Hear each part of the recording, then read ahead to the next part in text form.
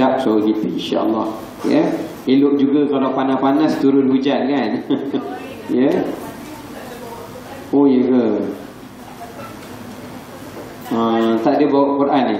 Kalau begitu saya baca je lah. Boleh eh?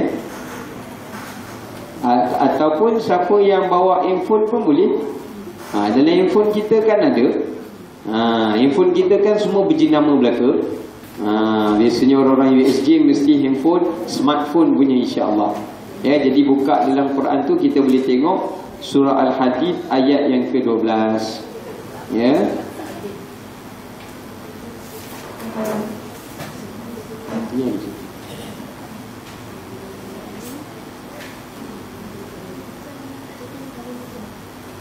Muka surat berapa saya tak pasti sebab saya pegang buku tafsir. Ya, nanti cuba tengok. Surah Al-Hadid ni juzuk yang ke-27. Ada je. Ha, sekejap saya tengok ni.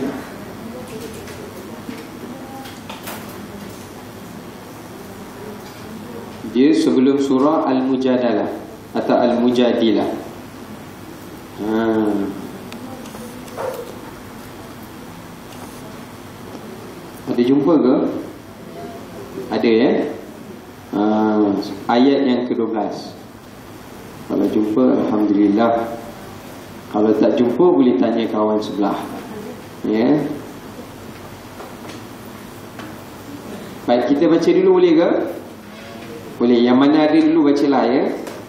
A'udzu billahi minasy syaithanir rajim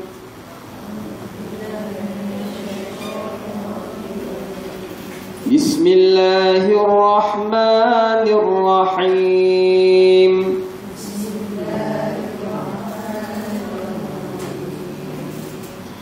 يوم ترى المؤمنين والمؤمنات يسعى نورهم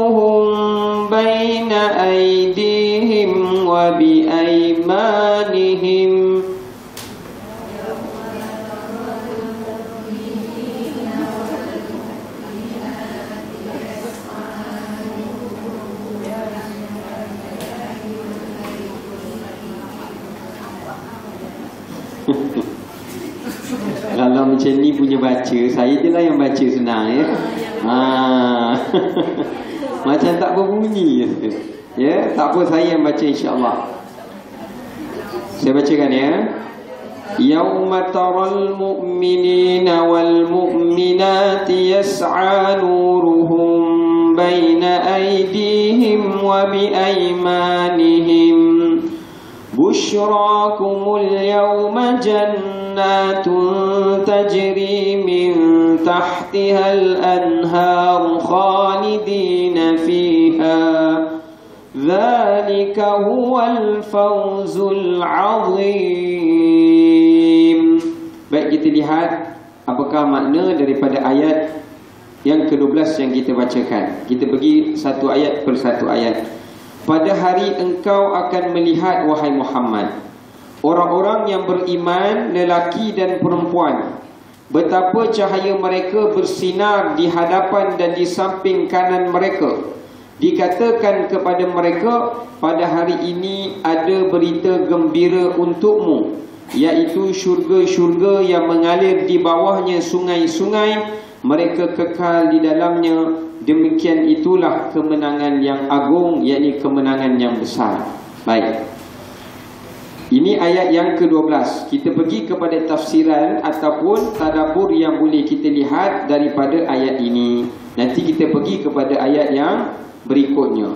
Kalau kita lihat di dalam ayat yang ke-12 ini dan kita cuba relatekan atau kita cuba kaitkan dengan ayat daripada sebelum daripadanya ya.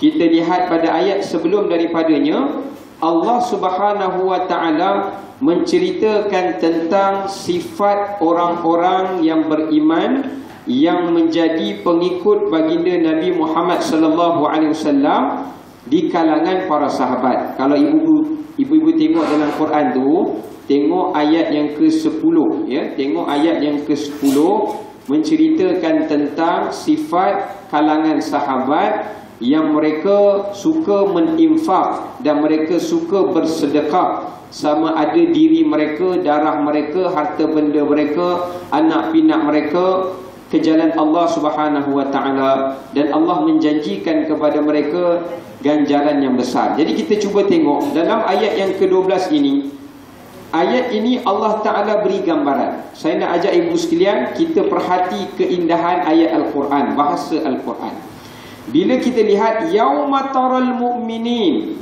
Kalau kita belajar bahasa Arab Tara tu bahasa uh, Fi'il ke isim? Hai. Fi'il ke isim? Fi'il. Yawma tara Yawma itu pada hari. Hari apa? Hari kiamat.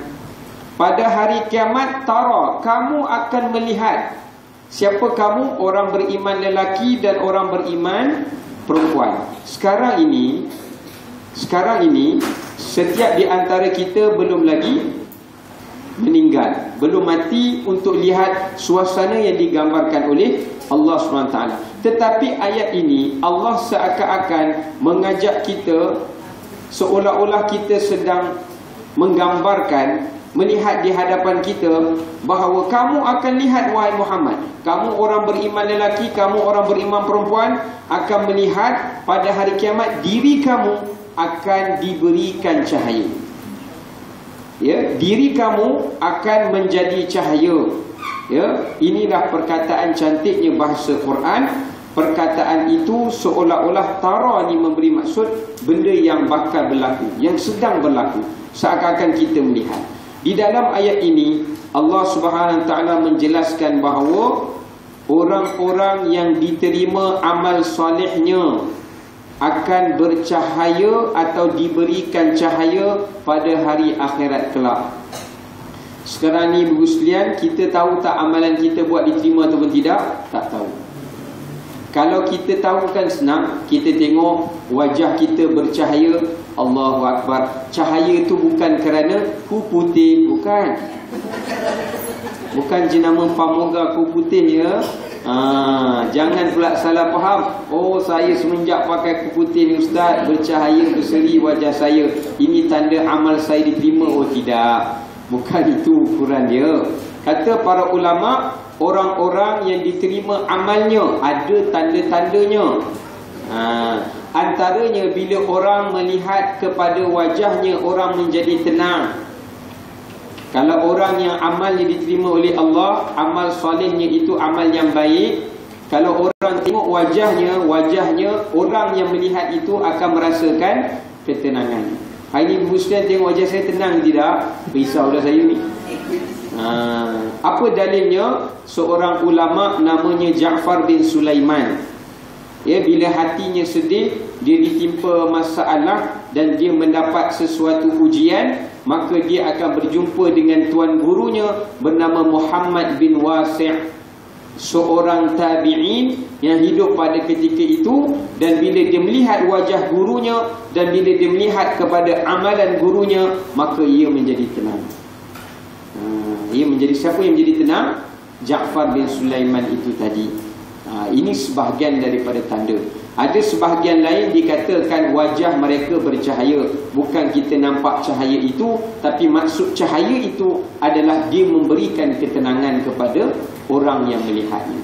Ya, Sebahagian banyaklah tanda-tanda saya pun tak sempat nak uh, kongsikan bersama. Cuma ulama kata banyak daripada tanda-tanda orang yang diterima amal selain daripada urusan-urusan pekerjaan, amalan yang dihadapi setiap hari apabila mendapat setiap permasalahan atau ujian, Allah berikan jalan keluar. Sama ada jalan keluar itu Allah mudahkan urusannya sendiri ataupun Allah berikan jalan keluar daripada orang lain yang mengeluarkan dia daripada permasalahan itu.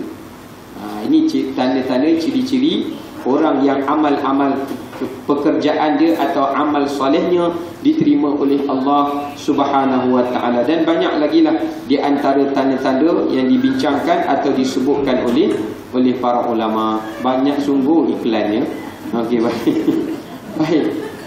Jadi kita nak katakan bahawa di sini orang-orang yang beriman kita tengok tafsir apa kata para ulama lelaki dan perempuan apabila mereka berada di atas titian sirat untuk mereka menyeberangi jembatan itu yang mana jaraknya amatlah jauh dan berada dalam keadaan kegelapan untuk membolehkan mereka sampai ke syurga maka pada ketika itu setiap manusia yang akan menyeberangi titian sirat akan mencari cahaya mereka. Ha, akan mencari cahaya masing-masing. Ya cahaya masing-masing. Sebab tu perkataan nuruhum baina aidihim cahaya itu berada di sekeliling mereka. Maksudnya orang-orang yang saleh yang diterima amalnya yang telah dihitung dan ditimbang oleh Allah maka amalan yang diterima itu akan mengeluarkan cahaya di sekelilingnya. Dalam satu tafsiran disebutkan oleh ulama bila kita berjalan cahaya itu akan suluh di hadapan kita. Bila kita toleh ke kanan cahaya itu akan ke kanan. Bila kita berhenti cahaya itu akan dia tidak akan menyuruh dia akan mengelilingi kita sahaja. Ini sebahagian daripada tafsir yang menyebutkan tentang hal keadaan itu. Sebab apa ibu sekalian yang dirahmati Allah? Hari ini kalau kita berjalan di dunia ya kita barangkali ada teknologi atau kelengkapan untuk kita menyuluh suasana kehidupan kita pada malam malam hari.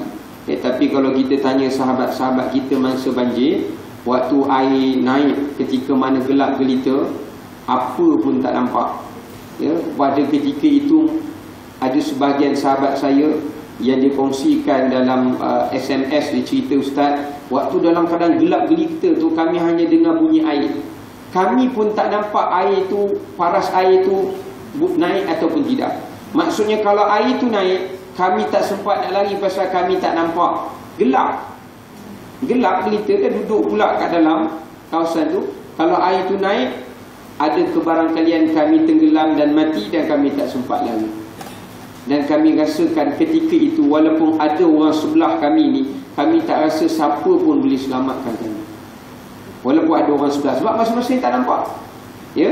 Maka pada ketika itu pengharapan kami hanya menyatakan bahawa yang boleh menyelamatkan adalah Allah SWT.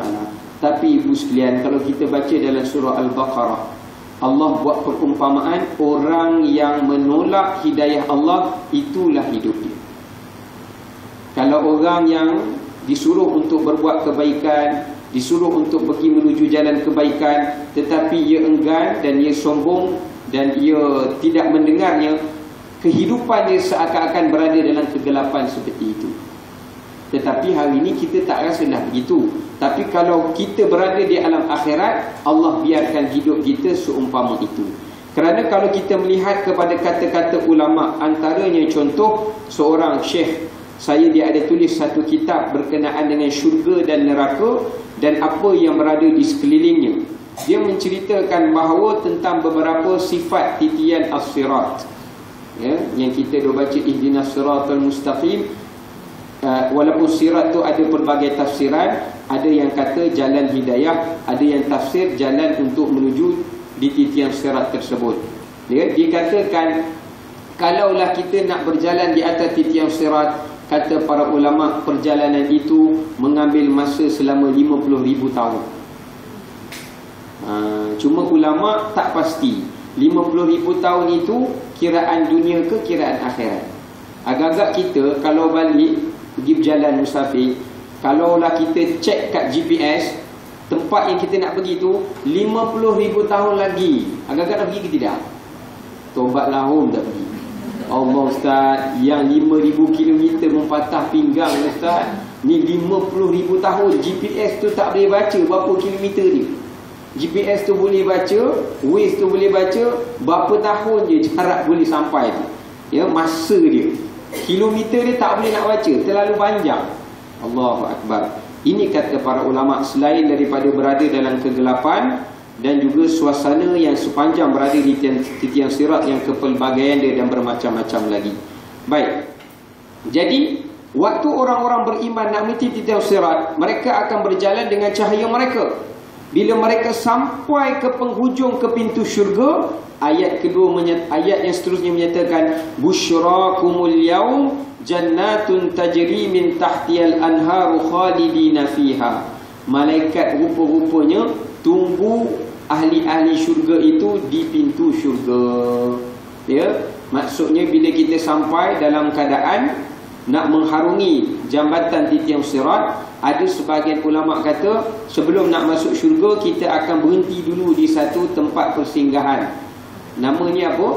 Namanya qantarah. Ha, pernah dengar tidak? Tak pernah kan? Ha, titian sirat bila dah selesai situ kita akan berhenti satu tempat namanya qantarah. Apa benda pula tempat tu? Tempat itu adalah tempat kuarantin. Tempat nak menahan ahli-ahli syurga supaya yang betul-betul masuk dalam syurga tu adalah manusia yang bersih daripada hasad dan kotoran hati dia. Waktu kita duduk di padang mahsyar, Allah bersihkan kita dosa zahir. Dosa zahir kita.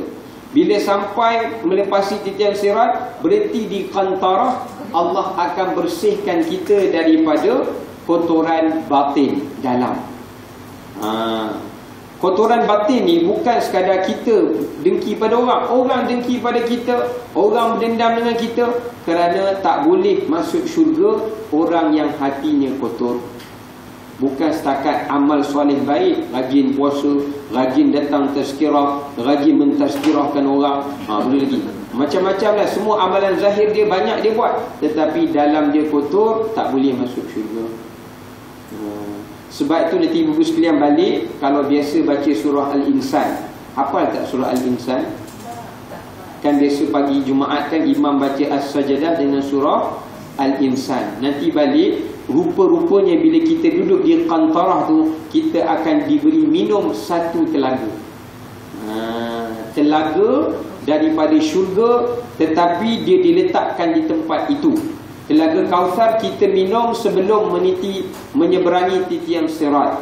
Selepas dah hisap selepas dah timbang jumpa Nabi SAW minum telaga kausar. Dah selesai titian sirat berhenti di qantara nak masuk syurga nanti dulu ada spot check lagi. Ya, tengok hati kita macam mana. Ada lagi tak benda yang masih belum selesai kemudian kita akan diberi minum dengan satu telaga namanya tahur dalam surah al-insan disebutkan ma'an tahura sebelum kita masuk dalam syurga akan diberi nama uh, minum satu telaga. Telaga itu telaga tahur kenapa dinamakan telaga tahur ataupun telaga suci kerana dia mensucikan kita dua perkara. Ini disebut dalam hadis nabi. Riwayat sayyidina ali radhiyallahu taala anhu meriwayatkan daripada Nabi SAW Nabi menyatakan setiap ahli syurga mereka mesti kena minum telaga ini. Bila sahabat bertanya Ya Rasulullah apa tujuan mereka minum telaga ini?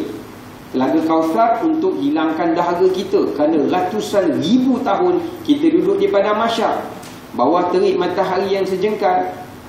Ya dan bila kita berada di kantarah diberi minum air tahur kerana dia membersihkan dua kata Nabi SAW yang pertama dia membersihkan jasmani kita. Lepas ahli syurga minum saja air itu, tak ada lagi bau busuk masam, tak ada. Peluh yang busuk tiada. Apa kotoran dalam perut kita yang kita makan, nanti dia bertukar menjadi najis, tak ada selepas minum air itu. Tak ada lagi buang angin, tak ada lagi apa saja kotoran yang kita bersihkan dekat dunia ni, dah tak ada. Ha, waktu tu semua bulu roma pun bulu roma pun hilang. Tak payah yunam lagi dah. Maksudnya semua hilang belaka Allah jadikan kita dalam ciptaan yang baru. Ya, itu yang pertama. Yang kedua, telaga yang bersih itu adalah membersihkan hati manusia. Ha, sebab tu kita kena rajin baca doa yang Allah Ta'ala ajarkan pada kita dalam surah Al-Hashr. Ada hafalkah? Rabbana gfir lana وَلِإِخْوَانِنَا الَّذِينَ سَبَقُونَا بِالْإِيمَانِ وَلَا تَجْعَلْ فِي قُلُوبِنَا غِلًّا لِلَّذِينَ amanu rabbana innaka ra'ufur rahim. Perkataan غِلٌ ghil ni adalah maksudnya belenggu. Belenggu kerana kotoran hati kita. Yang membelenggu kita daripada berbuat baik pada orang yang kita niatkan jahat. Ataupun yang menjadi ghil belenggu kita daripada menjadikan membolehkan kita masuk ke dalam syurga Allah SWT. Apa ni? Ha, ayat berapa tu kena cari sendiri. Itu homeworknya surah Al-Hashr. Nanti saya nanti saya tengok eh. Ayat berapa? 10 eh? Ayat 10 confirm ya? Ha, ayat 10 insya-Allah.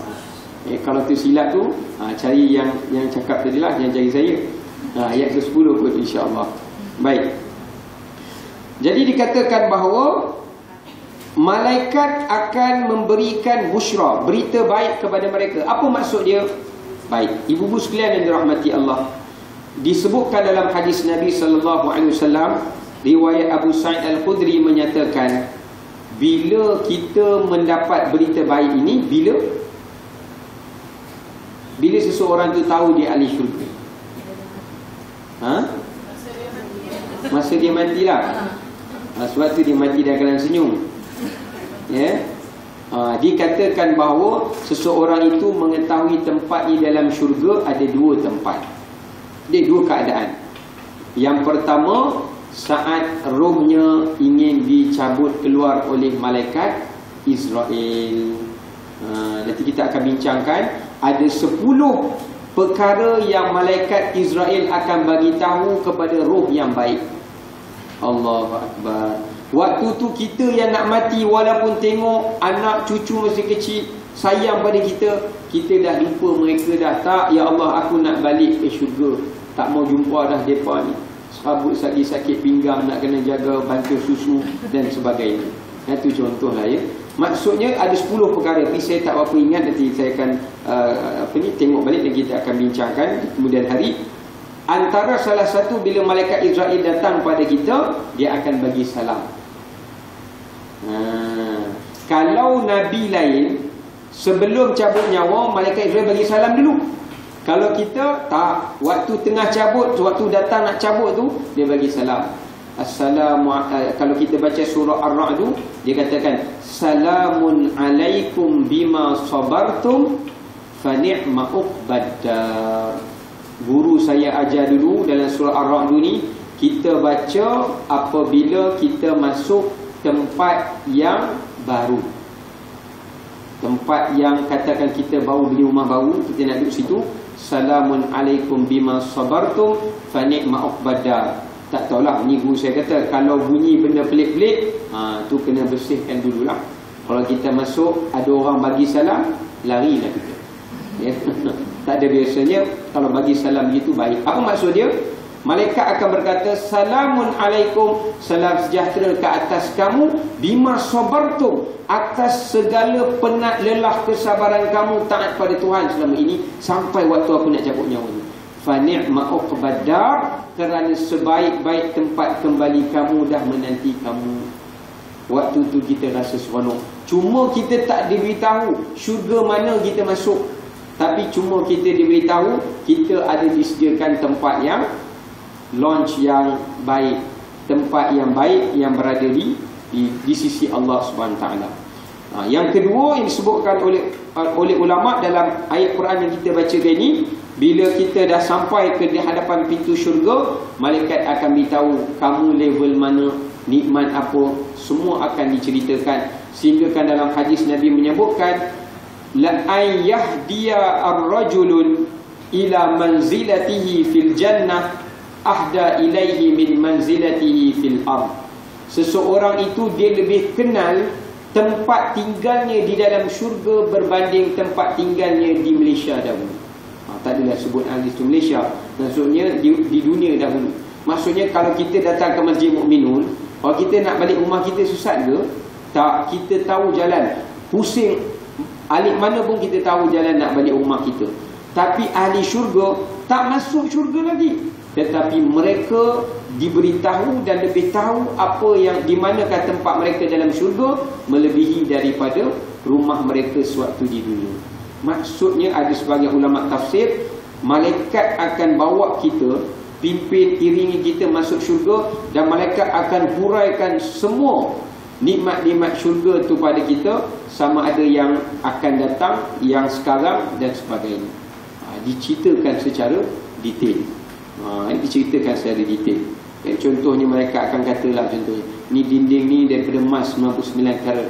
Ha, ya, dulu awal tak dapat kan. Ha, sekarang ni dinding pun emas. Ha, ini semua emas. Ha, contohlah. Dia nak ceritakan sampai ke tahap begitu. Baik. Dan kalau ibu-ibu sekalian kita lihat Allah sebut di sini jannatun tajri min tahtiyal anhar syurga yang mengalir di bawahnya sungai-sungai dan mereka kekal di dalamnya. Saya nak tanya ibu sekalian, kenapa dalam ayat Quran bila Allah cerita tentang syurga, Allah akan cakap syurga yang mengalir di bawahnya sungai. Kenapa? Kenapa mesti cakap syurga yang mengalir di bawahnya sungai-sungai? Eh, ada daya tarikan tak bila Allah sebut begini? Ya? Tak tahulah Ustaz ya. Ha, dia petang-petang kena tanya. Ha, kalau tak tanya, ha, ya. takut benda lain yang berlaku. Baik. Saya pernah rujuk tafsir sebab ada seorang jemaah ni ditanya saya. Dia kata dia selalu baca Quran. Dia tanya ustaz, bila saya tengok Allah selalu sebut syurga taman yang mengalir pada bawahnya sungai-sungai. Apa maksud dia? Ih, payah juga soalan jemaah ni saya kata. Kan? Jadi saya pun rujuk. Alhamdulillah ada jawapan. Rupa-rupanya Allah Ta'ala nak gambarkan kepada kita satu gambaran. Satu gambaran ibu pun pernah tak pergi pada tempat yang cantik? Pernah tak? Kita pergi ke satu tempat yang pemandangan dia cantik. Angin dia sedap pemandangan dia cantik tenang seronok. Kalau kita pergi tengok tempat-tempat macam tu stres. Kita Allah stresnya kenapa cantik sangat? Ah, tak ada orang ya biasanya kita akan tenang betul tak dan kita rasa macam nak buat rumah kat situ lah dan sebagainya tetapi di dalam ayat Quran ini ulama tafsirkan dengan tiga tafsiran. Yang pertama, Allah menyebutkan sungai di dalam syurga ia hidup. Apa maksud dia? Sungai dalam syurga dia hidup. Kalau sungai sekarang ini hidup tidak? Hidup juga. Tapi dia tak dengar arahan kita. Sungai dalam syurga dia hidup dan dia mendengar arahan kita. Dikatakan oleh Al-Imam Ibn Kathir sungai ni dia akan mengalir di dinding-dinding. Pernah tak pergi rumah dinding dia nampak air mengalir? Macam kaca transparent ada air mengalir ikan melalui tu contohlah kan. Wih cantiknya. Contoh ya maksud nak ceritakan ni bukan kaca air tu hidup dia boleh naik ke tepi dia boleh naik ke tengah boleh turun ke bawah dan dia tak jatuh Maksudnya kita pijak atas air itu, air itu mengalir tapi kita tak tenggelam. Dan kita boleh tengok, bila kita tengok ke bawah, kita boleh nampak sampai dasar sungai itu. Sekarang kalau kita pijak laut, boleh nampak ke dalam? Tak. Kita boleh nampak pun kalau kita scuba. Eh? Maksudnya kita, apa itu? Apa orang panggil? Apa dia? Ha, apa snorkeling? Snorkeling. Allah, payah tu yang menyebut. Kan? Masuk snorkeling kita masuk dalam tengok baru boleh nampak. Ni tak payah tengok pada atas. Boleh nampak apa semua yang ada di bawah tu. Ikan-ikannya semua ada di sungai-sungainya tu ya. Dia nak sebutkan bahawa ada tafsiran menyatakan pokok kemudian air mengalir dan air itu tidak mendatangkan mudarat kepada tuannya atau apa yang berada di sekeliling. Kalau nakkan air di sebelah dinding air sungai itu akan naik dan mengalir pada kita. Ha, nak sebelah atas shower letak buat tangan macam ni keluarlah dia. Ha, ini nak katakan bahawa tajri. Tajri ni maksudnya mengalir dan ia memberi maksud hidup dan mengelilingi kita ha, ya ini salah satu daripada tafsiran yang disebutkan oleh oleh para ulama dan setiap sungai-sungai dalam syurga dia tidak bercampur antara satu sama lain. Sungai susu, sungai madu, sungai arak, dia tak akan bercampur. Sebagaimana kalau kita pernah lihat yang Allah Taala sebut dalam surah Rahman wa bainahuma barzakh apa ni uh, Allahumma salli Muhammad marajul bahrain la yabghiyan di antara dua air laut masin dan air tawar dia tidak bercampur okay? sebagaimana yang di direkodkan dikatakan di Mexico air laut dengan air sungai dia tidak bercampur dan kita boleh memilih mana saja yang berada di dalam syurga itu. Kenapa Allah sebut begini? Nak bagi tahu kita kembali pada Allah dalam keadaan senyum gembira, dibangkitkan. Elok nak sampai ke rumah, ada pula orang sambut, tambah lagi gembira kedua. Kemudian Allah berikan gambaran imajinasi bahawa bagaimana syurga itu adalah satu kebun yang begitu indah yang tak pernah dilihat oleh manusia sewaktu di dunia dahulu. Ya. Dan Allah menyebut zalika wal fawzul azim, inilah kejayaan yang paling besar. Maksudnya kejayaan yang paling besar bukan kejayaan kita dapat sesuatu benda daripada nikmat dunia. Bukan sekadar anak kita boleh menjadi engineer, doktor, tapi kejayaan yang paling besar Bila anak tu boleh masuk syurga Atau boleh bawa kita ke syurga Ini adalah kejayaan yang paling besar Ya Baik Kita lihat ayat yang ke, yang berikutnya يوم يقول المنافقون والمنافقات للذين آمنوا انظرونا نقتبس من نوركم نقتبس من نوركم قيل ارجعوا وراءكم فالتمسوا نورا فضرب بينهم بسور له باب باطنه فيه الرحمة وظاهره من قبله العذاب. Apa maksud dia? Pada hari orang-orang munafik lelaki dan perempuan berkata kepada orang-orang beriman. Ha. Tunggulah kami. Wait for me. Contoh. Kami ingin kami ingin mengambil cahayamu. Lalu dikatakan kepada mereka, kembalilah kamu ke belakang dan carilah sendiri cahaya untukmu. Lalu di antara mereka dipasang satu dinding pemisah yang berpintu. Di sebelah dalamnya ada rahmat dan di sebelah luarnya ada azab. Allahu akbar. Lepas Allah cerita pada kita, wahai orang-orang beriman, kita semua ni sekarang ni kita tak tahu kita di kedudukan mana. Masing-masing tahu iman masing-masing. Ya. Namun jangan pelik bila kita akan lihat situasi yang Allah gambarkan dalam ayat Quran ini bila kita bangkit di hari akhirat kadang-kadang kawan-kawan kita yang datang masjid sama kita yang datang kadang-kala sekali tapi mereka dipisahkan kita dengan dinding pemisah ini. Kenapa? Asbabnya kerana ada sifat munafik atau sifat nifak di dalam hati ini. Nanti saya akan sebutkan ada 50 tanda-tanda ciri-ciri orang munafik. Allah banyaknya ya? Bila kadang-kadang saya terbaca rasa macam gigit cili pula pedas.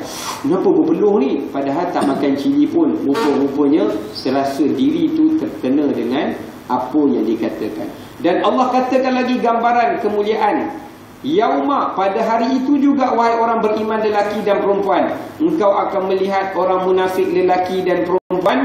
Mereka akan berkata kepada kamu, tunggu kami. Mereka pun nak meniti titian serat.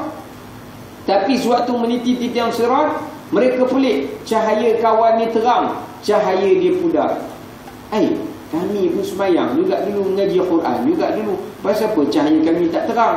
Cahaya kamu terang. Bateri kami lemah. Bateri kamu kuat. Pasal apa? Ha, Bukan sebab dia memilih energizer. Tidak. Tetapi di sini nak menyebutkan Mereka kata pada orang beriman Berilah kepada kami sedikit cahaya daripada kamu. Bagilah kami sikit cahaya kamu tu Orang beriman akan berkata kepada mereka Kau pulanglah balik ke ke dunia Kerana di dunia sahaja Masa untuk kamu mendapatkan cahaya ini. Masa untuk menyatakan pahala-pahala kamu ini Amalan-amalan soleh kamu ini Diterima oleh Allah ta'ala. Akhirnya Allah letakkan satu dinding. Mereka dah tak boleh nak cakap Allah letak satu dinding Pintu, ada dua pintu. Pintu bagi orang beriman rahmat. Pintu bagi orang-orang kafir azab. Maksudnya Allah kata wahai orang munafik kau nak jumpa orang beriman tadi kau buka lah pintu tu. Di sebalik pintunya di sebalik pintu yang kamu buka kamu akan jumpa mereka. Ya mereka pun semangat lah. Buka pintu tu rupanya bukan nampak sahabat dia beriman di pintu sebelah. Tapi rupanya itu adalah pintu yang singkat untuk dia masuk dalam neraka. Bawa berjalan, diberikan pintu buka, turun pintu neraka. Tak ada siapa pun sambut, lalu dilontarkan ke dalamnya. Baik. Jadi ibu yang dirahmati Allah Subhanahu wa taala sekalian, ini sedikit gambaran yang disebutkan oleh para ulama berkenaan dengan uh, bagaimana nasib keadaan orang-orang munafik sewaktu di dunia dahulu. Ya. Baik, kita lihat uh, orang-orang munafik ni dikatakan dalam tafsir mereka akan berkata, "Tunggulah wahai sahabat kami, bukankah kita bersama dalam ketaatan dahulu?" Lalu orang beriman akan berkata, "Benarkah kamu beriman?" Dia kata, "Benar." Apa tanda kamu beriman? Kami solat, kami berjihad, kami berinfak. Tetapi Allah Taala menjawab, "Tidak. Kamu solat kerana riya. Kamu berjihad untuk disebutkan nama kamu." Kamu berinfak adalah supaya kamu dikenali dan mendapat nama. Maka kerana itulah semua tanda-tanda ini menunjukkan bahawa kamu tidak layak bersama dengan orang-orang yang beriman itu. Allahu akbar ya. Jadi sebab tu saya teringat juga satu kisah yang lain uh, seorang apa ni ulama namanya Abdullah ibnu Mubarak. Ya, seorang tabi'in pernah satu ketika dia bacakan sepotong hadis. Ni ada dalam kitab Rahsia Kematian dibacakan sepotong hadis dikatakan bahawa orang-orang yang beriman sama orang-orang beriman mereka akan masuk syurga mengikut uh, kehebatan ataupun amalan mereka masing-masing. Bila ada di antara sahabat-sahabat yang berkenalan macam kita kan ibu-ibu sekalian kenal kawan sebelah yang datang kuliah sekali kena ingat nama dia. Pokok dia masuk syurga dulu dia boleh ingat kita ini tidak nak ambil nama pun tidak apa pun tidak kan. Kenal pun tidak. Contoh kan. Ha, esok hari akhirat eh macam pernah nampak muka kamu ya. Ha, tak boleh tolong air sikit ke? Taklah you pun tak tak tegur air dulu. Sorry lah goodbye lah. ha, tu Nak cerita kat Abdullah Mubarak kata dalam sebuah sepotong hadis Nabi sallallahu Orang yang beriman sama orang beriman di dunia dahulu bila mereka berbuat amalan satu sama lain bila salah seorang mereka dimasukkan syurga terlebih dahulu bila mereka masuk syurga orang yang pertama mereka akan cari kawan mereka suatu kat dunia. Dia akan cari. Dia akan ingat senarai nama kawan-kawan dia dulu Cari kat syurga, cari tak jumpa. Akan tanya malaikat. Malaikat, kawan saya nama si Fulanah, si Fulanah binti Fulan. Ada tak dalam tiga lain? Tak ada lagi. Ya Allah, mana kawan saya ni? Oh, dia kat badan masya lagi. Tak boleh masuk lagi. Ya Allah, tolonglah ya Allah. Masukkanlah dia ya Allah. Kerana waktu dia, saya berada di dunia dahulu, saya juga dapat kekuatan untuk beramal ibadat kerana bersama-sama kami melakukan. Mungkin dia ada dosa lain yang saya tak tahu. Tapi percepatkanlah baginya. Dengan rahmat dan syafaat ahli syurga itu, Allah menyegerakan orang itu. Allah Akbar. Ha, ini kelebihannya. Tapi berbeza dalam suasana orang munafik ini. Baik, kita nak lihat apa yang disebutkan oleh ulama tanda-tanda munafik. Yang pertama, Tanda-tanda orang-orang munafik itu adalah malasnya beribadah kepada Allah. Terutamanya merasa malas dan beratnya dalam mengerjakan setiap kebajikan. Mereka bukan menjadi orang yang pertama atau orang yang terawal atau terdahulu dalam berlumba-lumba melakukan kebaikan. Sebaliknya mereka tidak merasa iri hati. Tak ada rasa cemburu pun kalau orang lain buat baik lebih daripada dia. Ha, bahaya. Kalau ada indikator begini, ha, itu dah bermulanya berkembangnya virus nifak. Bila tengok kawan kita pandai baca Quran, kita tengok ada tu kisah. Ha, tak apalah dia pandai baca Quran, ai pandai menyanyi. Ha, contoh. Kan? Maksud kita tak rasa benda tu macam perlu berlumba-lumba. Rasa kawan kita dah macam-macam pengajian dia belajar macam-macam. Eh tak rasa tak rasa ribtah. Dan bahasa Arab ni hasad dengki yang dibenarkan dipanggil ribtah. Kita rasa cemburu dengan apa yang ada pada dia. Sebaliknya, yang peliknya kita bukan cemburu pada amal solehnya. Bukan cemburu pada ilmunya. Kita cemburu pada handbag dan telefon. Tengok handbag cemburu itulah. Ah, ini something wrong. Ya, maksudnya kalau seorang dan ada tanda-tanda nifak sebagaimana Allah Taala sebut dalam Quran wa id qamu kusala yurauna nas bahawa mereka ini bila dipanggil untuk mendirikan salat mereka bangun dalam keadaan bermalas-malasan. Ha, mereka malas tidak berlumba-lumba dalam melakukan kebaikan ya Apalah orang nak sedekah, bagilah orang sedekah dulu.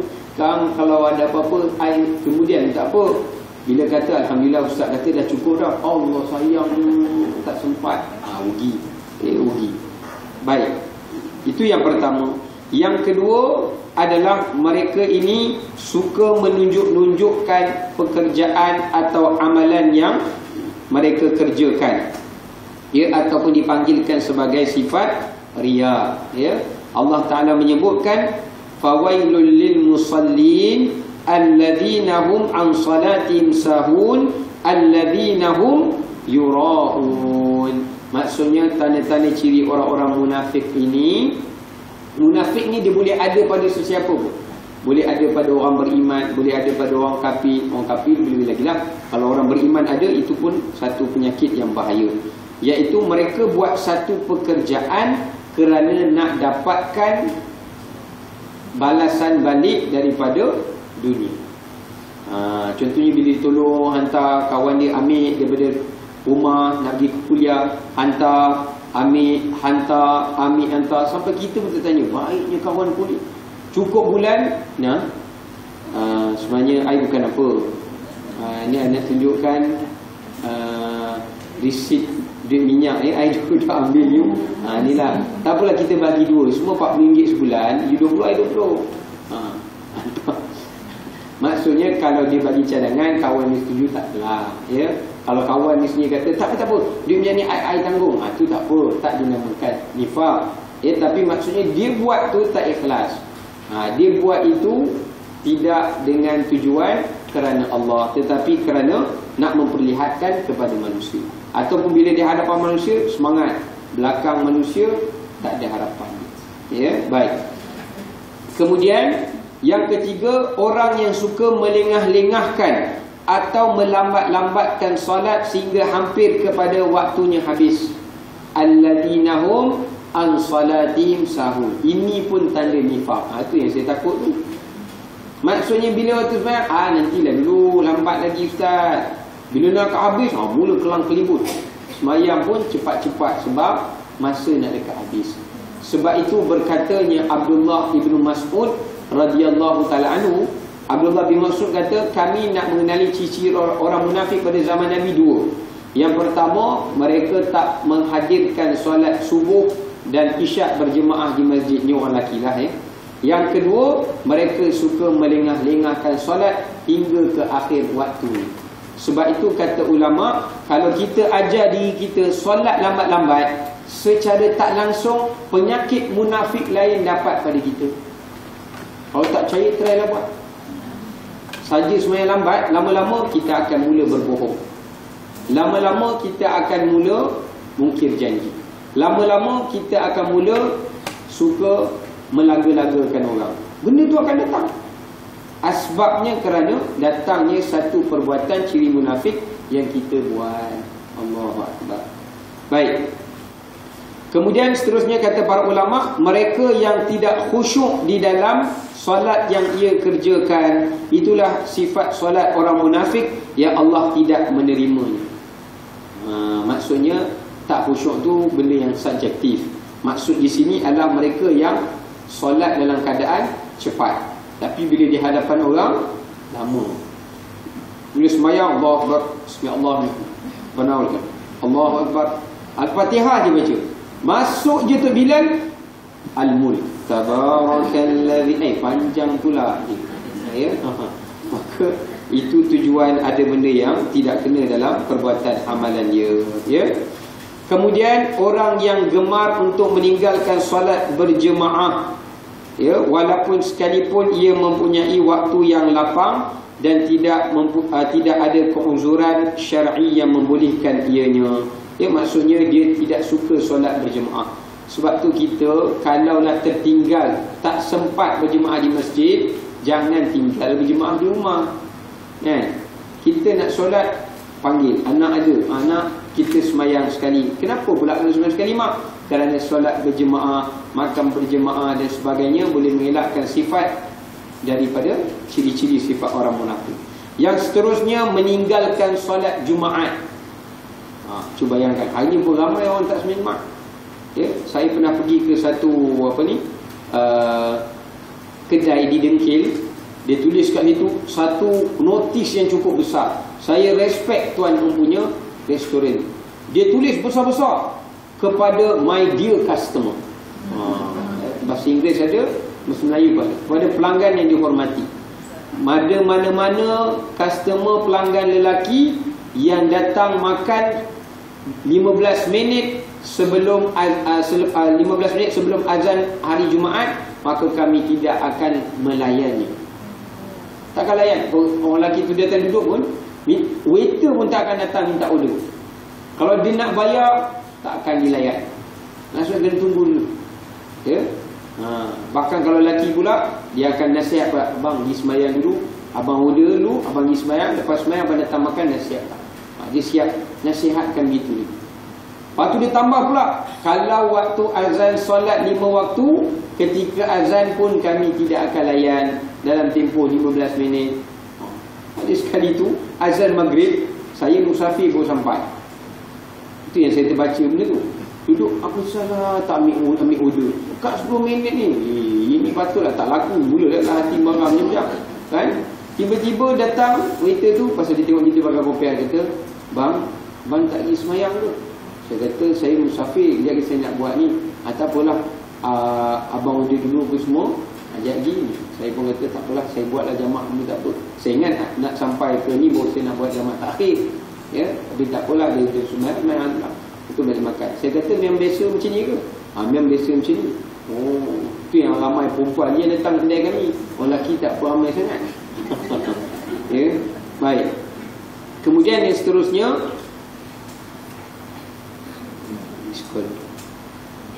Kemudian kata para apa ni kata para ulama lagi adalah orang yang uh, antara ciri-ciri sifat orang-orang munafik adalah orang yang bercakap dusta. Ini disebut dalam hadis Nabi ya. Ya, Nabi menyebutkan wa idza ya dia hadatha kadzaba. Apabila mereka bercakap, mereka suka berdusta ya. Ini disebutkan oleh hadis Nabi sallallahu Sebab itulah para ulama mengajarkan kepada kita elakkan diri daripada banyak bercakap menipu. Ya, mungkin kita bercakap menipu pada perkara yang kecil, tapi lama kelamaan dia akan membawa kepada perkara yang besar. Hatta dalam perkara yang besar pun kita akan cuba menipu juga. Ya, yang seterusnya orang ciri orang-orang munafik adalah mereka suka bersahabat dengan orang fasik. Ha, itu dia. Mereka suka bersahabat dengan orang fasik. Maksudnya mereka ni kurang gemar bersahabat dengan orang yang suka cerita tentang kematian, suka cerita tentang kebaikan, suka cerita tentang buat baik. Mereka suka bersahabat dengan orang-orang yang suka lalai, berada dalam keadaan lara ataupun benda-benda yang banyak menceritakan tentang benda yang tidak berfaedah dan sebagainya. Antara ciri munafik yang lain adalah mereka yang menyembunyikan ilmu pengetahuan yang mereka pelajari apabila ditanya ha, ya maksudnya orang yang suka menyembunyikan ilmu juga antara salah, salah satu tanda-tanda ciri orang munafik. Ya. Maksud menyembunyikan ilmu juga adalah ilmu yang benar dia tak bagi tahu. Ya, dia tak bagi tahu. Orang kata boleh tidak ni? Ha, pandai-pandailah. Dia tahu hukum tersebut tapi dia tak bagi tahu kepada orang tersebut. Ya. Ha, bahkan dia menyalahgunakan pula ilmu itu dengan menyuruh orang melakukan benda yang tidak baik ini salah satu daripada tanda-tandanya.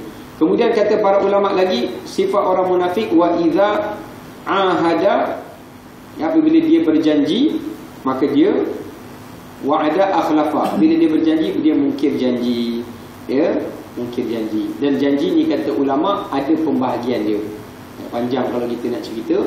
Kalau janji maksudnya janji yang boleh mendatangkan mudarat ataupun kesusahan pada orang yang kita janji janji itu hukumnya wajib. Contoh kalau kita kata sekian-sekian. Orang tu tunggu kalau menyebabkan kita tak datang dia tunggu mendatangkan mudarat kepada orang tersebut. Mungkin orang tu apa ni apa uh, apa ni mendapat kesusahan ataupun apa-apa saja maka benda ini benda tidak dibenarkan. Ya sebab itu Islam melarang daripada suka berjanji Sebab tu Islam ajar orang yang beriman dia tidak suka berjanji. Kerana bila berjanji ada kemungkinan mungkin janji. Awal-awal sendiri cakap, saya tak janji ya. Saya tak janji. Insya-Allah main-main juga. Ha, insya-Allah tak buat. Ha. Patutnya insya-Allah dengan izin Allah adalah perancangan yang dia nak buat. You datang tidak ni? I tak berani janjilah. Insya-Allah ha, tak berani jugalah. Ya, maksudnya kalau Allah hendakkan saya sampai, adalah saya. Jangan mudah berjanji sebab takut itu boleh membawa kepada sifat munafik. Ya. Kemudian seterusnya kata ulama iaitu orang yang suka berhasad. Berhasad dengki dengan orang lain. Ha, ni ciri orang munafik juga. Dia suka hasad pada orang. Asal orang dapat apa maksud hasad? Ha, kena kenal dulu apa maksud hasad? Hasad ada tiga kategori kata ulama. Yang pertama hasad kita nak dapat nikmat yang ada pada orang lain tu kita pun nak sama macam mana dia dapat. Itu hasad Hasad ni asalnya kita nak Nikmat yang dapat pada orang lain tu Hilang Dapat pada kita. Katakan dia dapat RM50 Kita nak supaya RM50 hilang Dapat pada kita. Itu contohlah. Ha, Itu niat hasad Itu hasad yang standard ni. Dia ada hasad yang high class. Ha, Ini hasad yang standard. High class Dia hasad supaya orang yang kawan dia dapat nikmat tu hilang. Dia dua-dua tak dapat. Kan bagus? Ha, dia buat hasad dia kawan dia tak dapat nikmat tu ha, lega saya ustaz. Dia tak dapat saya pun tak dapat. Kenapa buat-buat dia macam tu? Saya bukan hasad saya takut dia takabur ustaz. Apa nak pandai pula takabur ya ha, itu pun hasad yang kedua hasad yang ketiga ini lagi dahsyat kata ulama' dia mengharapkan nikmat yang ada pada orang itu hilang dan berbalik pada dia tapi lebih banyak daripada apa yang orang itu dapat. Dia ada tiga. Yang pertama, dia nak orang tu tak dapat langsung, kawan dia tak dapat, dia semua tak dapat. Ha, iri hati ni, hasad ni. Yang kedua, dia mengharapkan nikmat ada pada orang tu berbalik pada dia. Yang ketiga, nikmat pada orang tu hilang, berbalik pada dia tapi dapat lebih lebih banyak. Ya, ini tiga kategori hasad yang disebutkan oleh oleh para ulama ya. Jadi orang yang suka berhasad itu salah satu daripada tanda sifat-sifat kemunafikan ya. Perlu berhati-hati.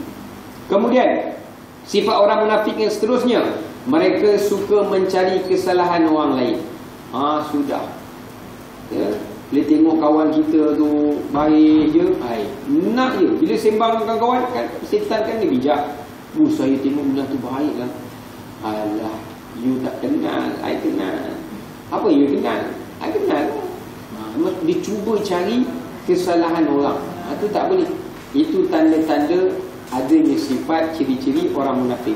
Kerana orang yang suka mencari kesalahan orang lain, itu tanda hasad. Dan saya nak sebutkan, dalam mencari kesalahan orang lain ni, ada yang dibenarkan, ada yang tidak dibenarkan. Kalau orang tu buat kesalahan terang-terangan, terang terang-terangan keluar pergi ke Speedmart di Taipan dalam keadaan pakai baju kelawar. Terang-terang. Bukan seorang dua dah nampak, berapa kali dah orang nampak. Jadi orang pun cakap, "Ish, betul Keminah tu pakai baju kelawar ni." Ai, ai pun tak boleh cakap tapi ai pun nampak. Ha, kalau dia cerita pada orang lain, ya, maksudnya you ada nampak ke? Maksudnya kalau benda tu terang-terangan berlaku, maka itu tidak dikira mencari kesalahan orang kerana dia sendiri menampakkan kesalahan tapi kalau dia pakai baju kelawar di kat dapur je kita yang pergi mengintai ha, okay? lepas tu cerita ala bukan alim sangat dia duduk dalam rumah bukan pakai jubah pun habis takkan duduk dalam rumah nak pakai jubah ya? dia ceritakan air orang kerana nak merosakkan maka ini tanda-tanda ciri-ciri sifat orang munafik ya? tidak dibolehkan Maksudnya hal yang melibatkan peribadi dia yang tersembunyi yang dia cuba tutup tapi kita bukakan maka itu tidak tidak boleh. Eh, ini tanda-tanda ciri sifat orang munafik. Kemudian dikatakan bahawa ciri-ciri sifat orang-orang yang munafik itu adalah mereka suka apa ni bersumpah dengan nama Allah, suka menggunakan sumpah. Ha, sikit-sikit sumpah, sikit-sikit sumpah. Ha, suka sangat bersumpah. Ya, mempermainkan sumpah. Dalam istilah bahasa saya sekarang ni Saya nak katakan mungkin orang Malaysia kita dia takut sikit bersumpah ni. Kalau dia bersumpah dengan nama Allah menggantikan saksi untuk katakan orang itu bersalah, itu adalah sumpah yang paling dosa besar sekali kata Nabi SAW. Dia dianggap sebagai syahadatul zur, penyaksian yang palsu.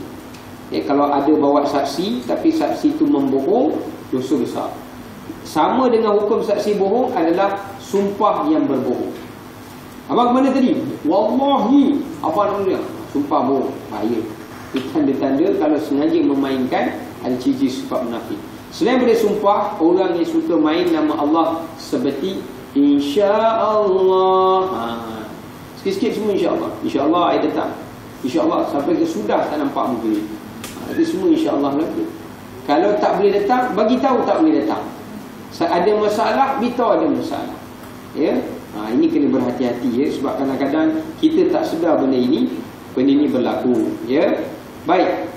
Kemudian ciri-ciri orang munafik suka bermuka dua. Ha. Dia suka bermuka-muka. Datang orang sini manis mulut depan kita.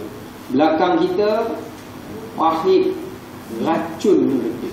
Allahu akbar. Ya?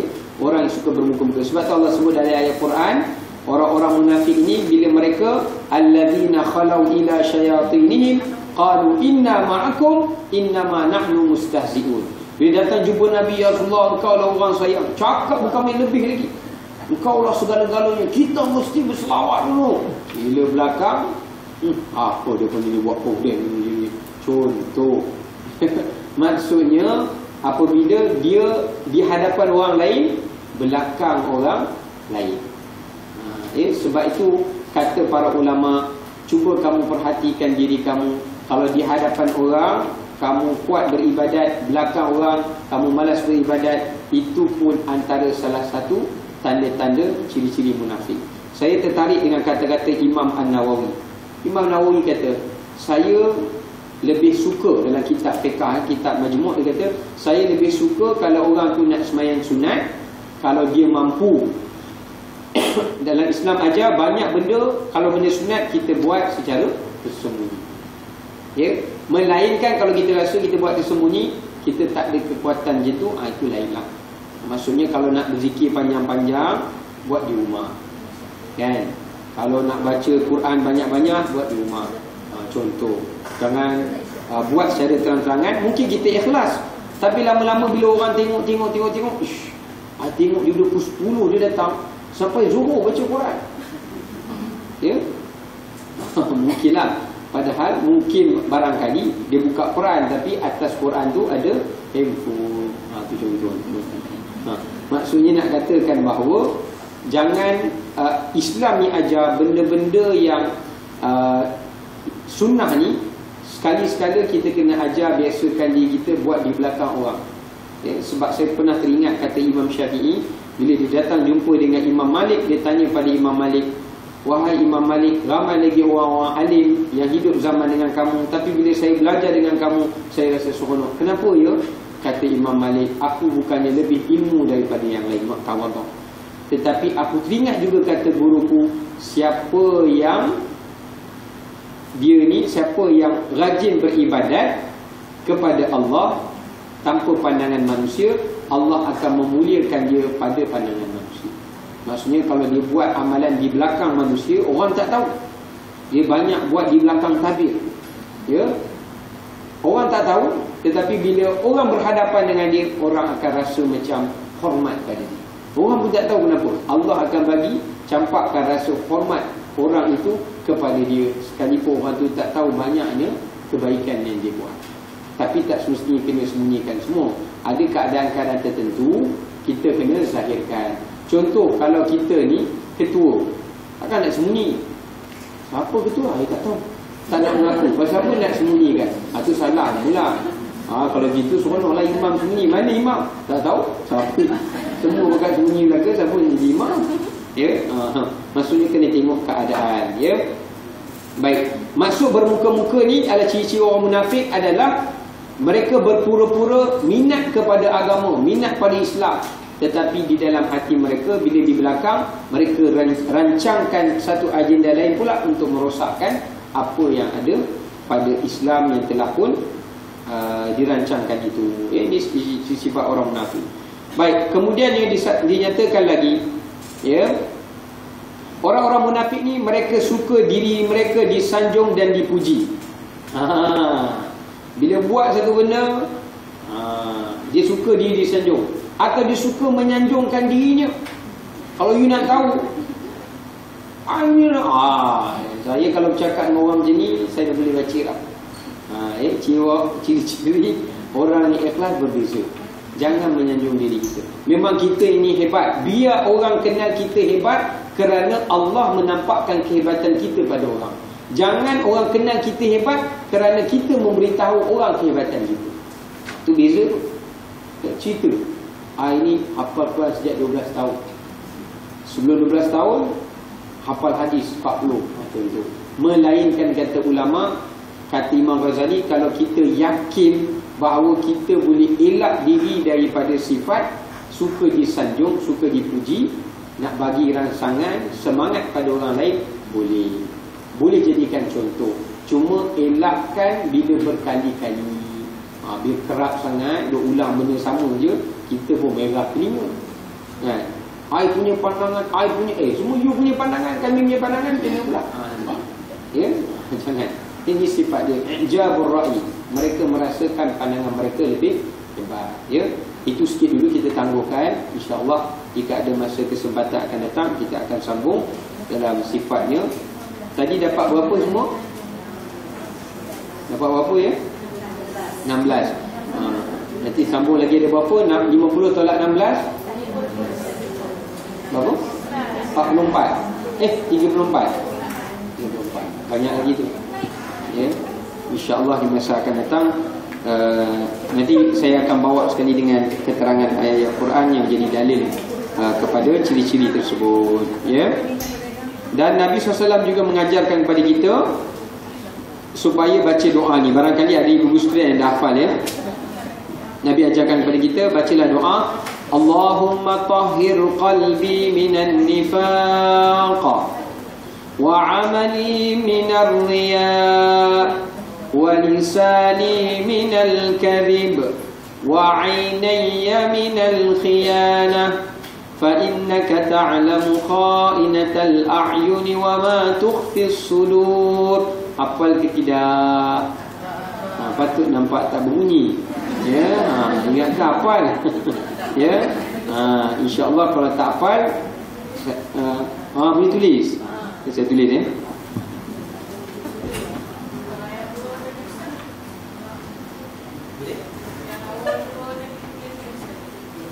Awal dua awal dua? Oh al-fatihah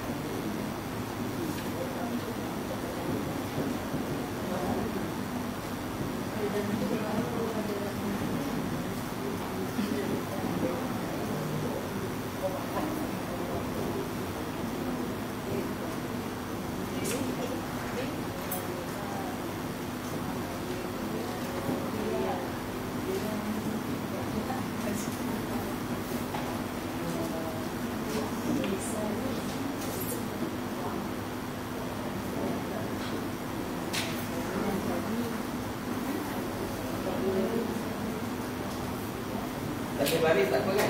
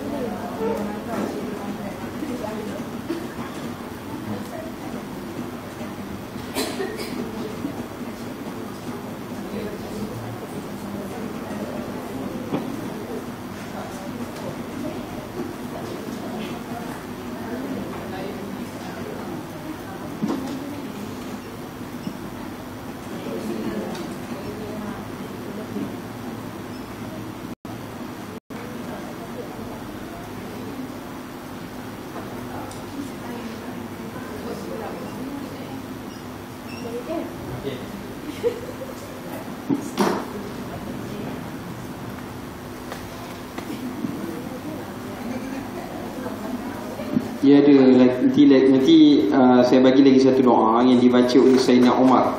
Oh saya teringat tadi. Tapi tak apalah, ambil yang ni dulu. Kang dua sekali kang banyak pula. Ya, ada satu doa yang dibaca oleh Sayyidina Umar setiap kali dia nak buat satu benda amalan pekerjaan dia akan baca dulu doa tu. Ha, ya.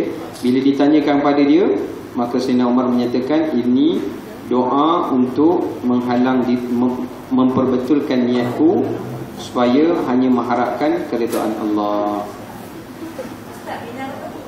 Mana? Yang mana satu? Ni. Yang ni. Ni. Nifaq. Minan nifaq. Hmm.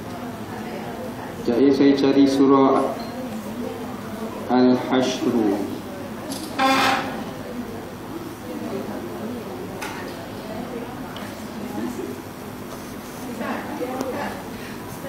Surah Al-Hashru tu tadi ayat yang ke-10.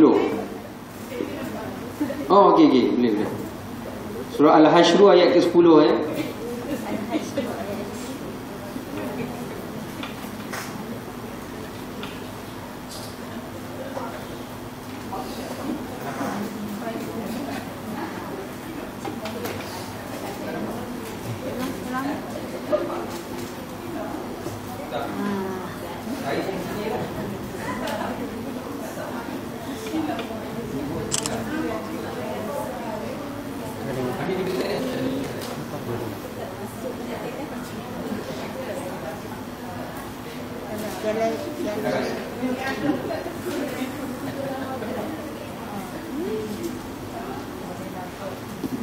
Saya berikan makna dia dulu ya.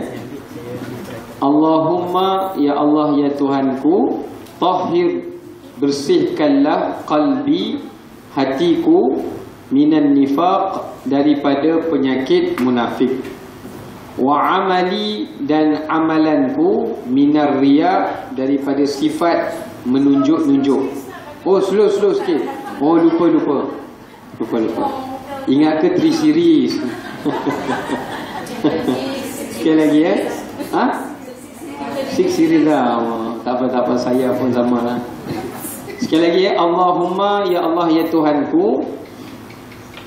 Dapat nah?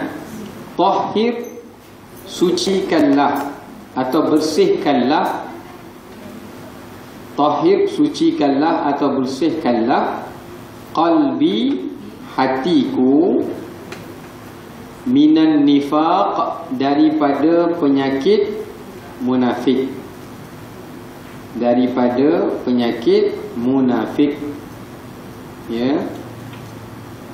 Dapat ya pendengar pertama yang ke, yang seterusnya wa amali dan amalan-amalanku dan perbuatan-perbuatanku. Dapat? Minar ha? dan perbuatan-perbuatanku. Minar riya daripada menunjuk-nunjuk. Riya maksudnya menunjuk-nunjuk ya daripada menunjuk-nunjuk. Dapat? Okey. Walisani dan lidahku. Dan lidahku. Maksud lidahku ni semua berkait dengan ayat atas ya tahkir ya. So akan-akan maksudnya bersihkanlah hatiku bersihkanlah amalanku bersihkanlah lidahku. Seakan-akan maksud begitu ya. Faham ya? Dan bersihkanlah lidahku daripada bercakap dusta dan bersihkanlah lidahku daripada bercakap dusta. Dapat? Dan kedua mataku dan bersihkanlah kedua mataku. Boleh? Daripada berbuat khianat. Ha, maksudnya mata yang memandang dengan tujuan untuk khianat seperti hasad atau benda-benda yang tak baik dan bersihkanlah kedua mataku daripada berbuat khianat. Boleh dapat? Yang bawah ni. Dan sesungguhnya engkau maka sesungguhnya engkau fa innaka maka sesungguhnya dikau